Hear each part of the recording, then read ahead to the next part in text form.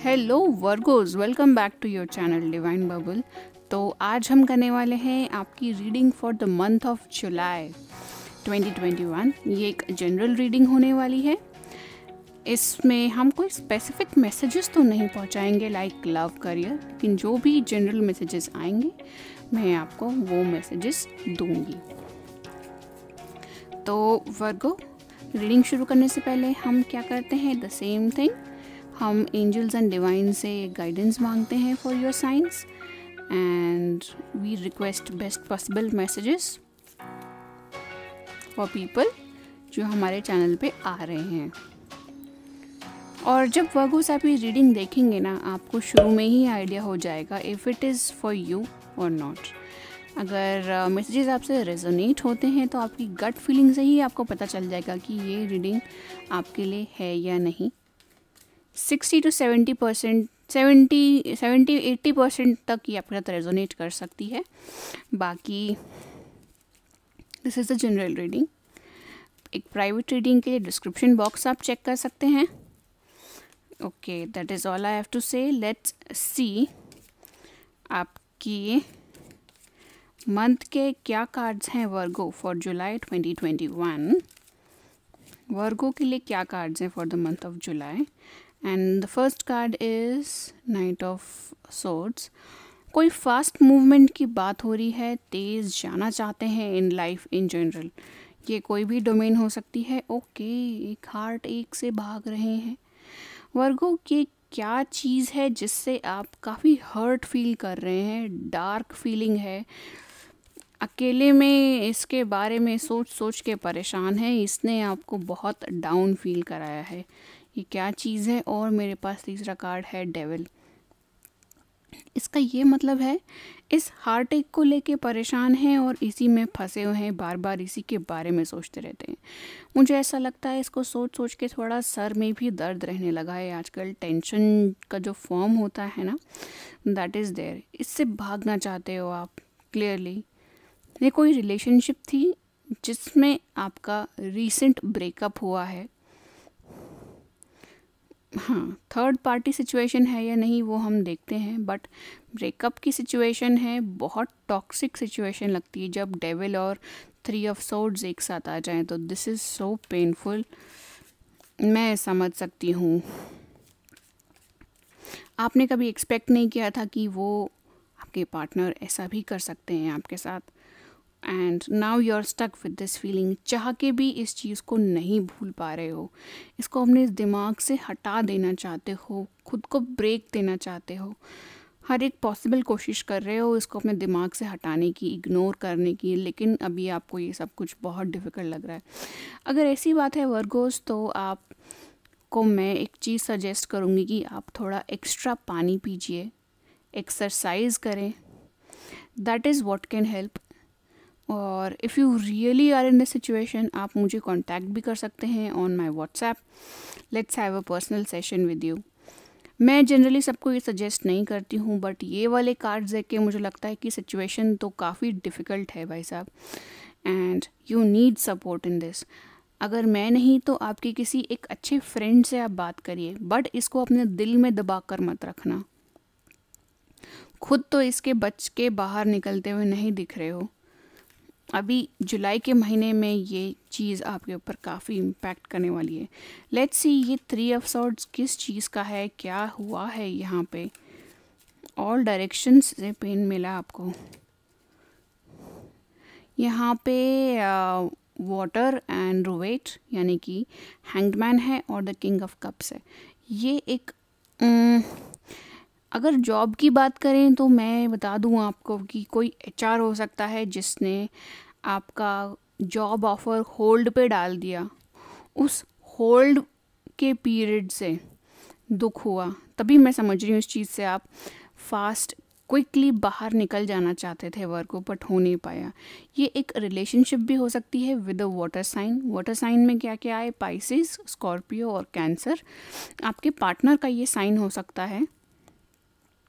उन्होंने आपको होल्ड पे डाल दिया साइड में डाल दिया और अभी फोकस किसी और पे है।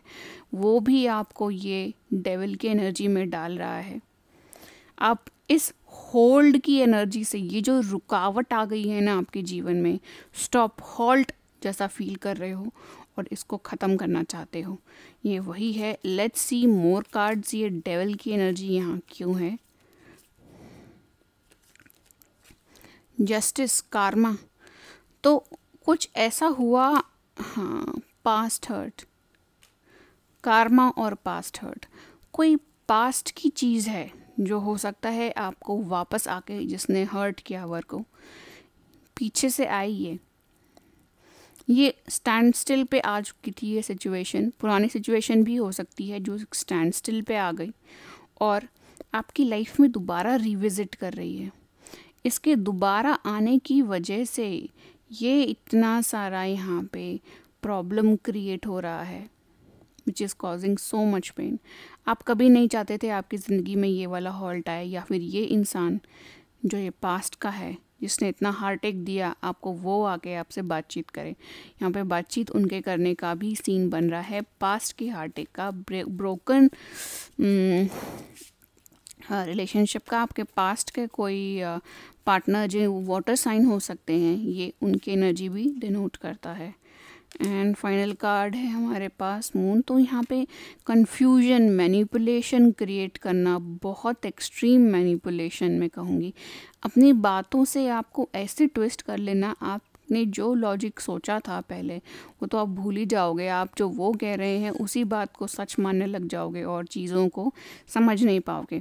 यानी कि जो सच्चाई है ना, उसके ऊपर बादल से छा जाएँगे फॉर यू एंड उसको समझना आपके लिए बहुत डिफ़िकल्ट होगा। समझ नहीं पाओगे और नीचे है टावर ये सिचुएशन ज़्यादा देर नहीं रुकेगी आपके पास work I promise you that क्योंकि जब भी टावर आते हैं दैट मीन्स सिचुएशन थोड़ी डिफ़िकल्ट है but this is happening for the better क्या पता?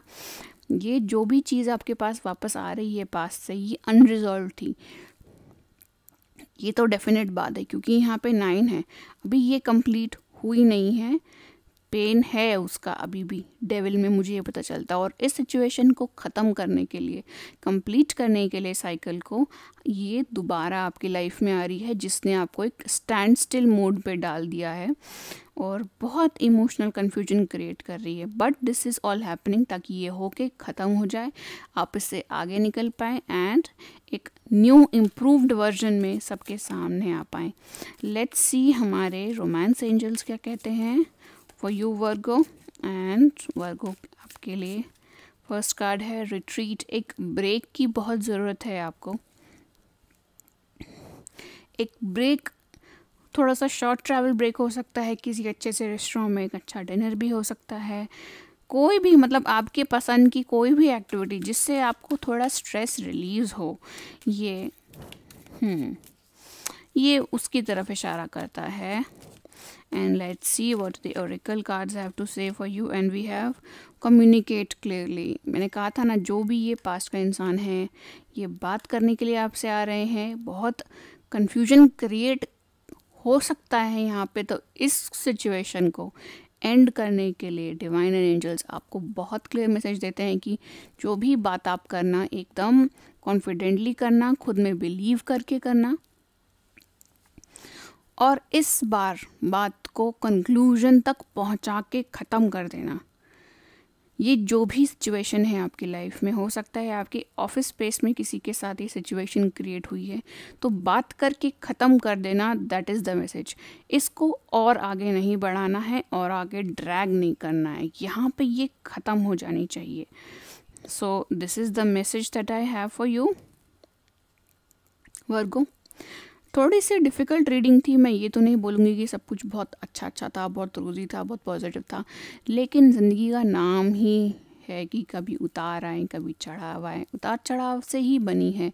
अगर हम चढ़ाव एंजॉय करते हैं तो उतार से भी हमें कुछ सीखना चाहिए। तभी तो हम उस चढ़ाव को भी अप्रिशिएट कर पाएँगे। जब तक हमें पता नहीं होगा कि हमें इम्प्रूव क्या करना है, तब तक हम नहीं समझ पाएँगे। और यहाँ पे आपका जो इम्पोर्टेंट मैसेज है, जो सीखने वाली बात है, जो आपको ये कार्मिक साइकिल सिखाना चाह रही है, वो ये है कि आप अपनी बात पे विश्वास रखें और अपनी बात को पूरी तरीके से रखें। इस पे कंफ्यूज होने वाली कोई बात नहीं खुद में बिलीव करें और अपनी बात एकदम स्ट्रेट फॉरवर्ड रखें। अगर ऐसा है तो ऐसा है। आपको मालूम है, अपने ओपिनियन पे बिलीव करिए, उस बात पे स्टैंड लें। क्योंकि आप सब चीज़ें देख चुके हैं, यहाँ पे नाइन ऑफ़ वॉन्ट्स हैं। सारे एंगल्स आप देख चुके हैं, सारी चीज़ें आप देख चुके हैं एक्सपीरियंसेस बैड हो चुके हैं। अब उनसे जो भी आपको चीज़ें पता हैं, वो आपके पर्सनल एक्सपीरियंस से गेंद चीज़ें हैं। अब वो सच हैं दे आर इन स्टोन और ये बात कहने से आपको हिचकिचाना चाहिए, ना ही इनको मोल्ड करना चाहिए। अगर आपने पेन झेला है तो झेला है। किसी के कहने से कि तुमने नहीं झेला है, या मैंने तुमसे ज़्यादा ज़्यादा झेला है विल नॉट चेंज इट आपका झेला हुआ पेन इज़ नॉट वेस्ट झेला है आपने। इट इज़ देयर ये एक फैक्ट है। फॉर एग्ज़ाम्पल मैं समझा रही हूँ। सीरियसली मत लेना। Whatever your situation is उसके अकॉर्डिंग आप बात समझना। सो वर्गो आई होप आपको ये रीडिंग पसंद आई हो। पसंद आई हो तो please like and subscribe to the channel comment section में डेफिनेटली बताना कैसी लगी। And you can book a private reading with me जैसा मैंने आपको पहले सजेस्ट किया, इस कार्ड्स को देखने के बाद आई फील कि एक ज़रूरत तो है थोड़ी सी। तो वर्गो, चलिए मिलते हैं। बाय